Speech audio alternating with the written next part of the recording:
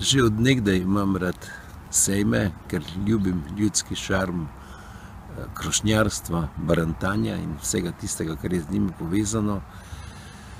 Knjižni sejem je pa seveda zame še nekaj posebej posebnega, saj sem s knjigo na različne načine povezan, ampak na tem našem majhnem sejmu me res najbolj privlači uh, vojn barve sveže potiskanih knjig, še zmeraj pa kak vzdih v težko pričakovani knjigi, tudi to se dogaja.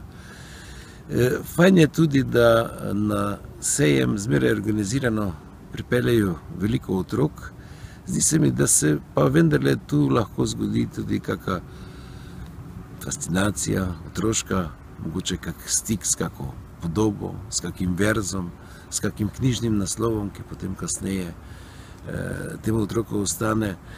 Eh, skratka, eh, mislim, da bi si morali vzeti čas, tudi če nismo s knjigo posebej povezani, in se pač, in pač dopustiti, da nas ta sejem zapelje.